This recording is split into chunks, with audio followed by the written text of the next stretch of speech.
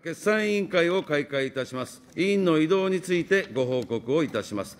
去る1日までに音喜多俊君、柳瀬博文君、田村智子さん、足立信也君、竹内真二君、佐々木さやかさん、西田昌司君、山田敏夫君および今井絵理子さんが委員を辞任され、その補欠として梅村瑞穂さん、柴田匠君、高瀬博美さん、横山真一君、上月良介君、朝日健太郎君、比嘉夏美さん、田村真美さん、および倉林明子さんが選任されました。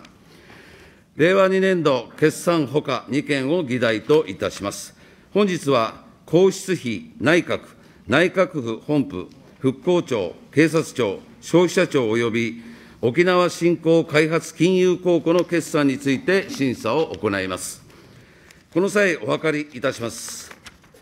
議事の都合により、これら決決算の概要説明及び決算検査の概要説明はいずれも省略して、本日の会議録の末尾に掲載することにいたしたいと存じますが、ご異議ございませんか？ご異議ないと認め、さよう取り計らいます。速記を止めてください。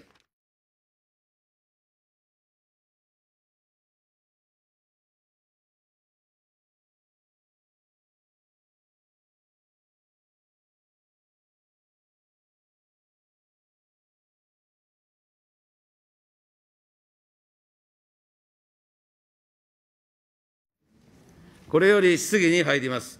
質疑のある方は順次ご発言願います。はい。牧野隆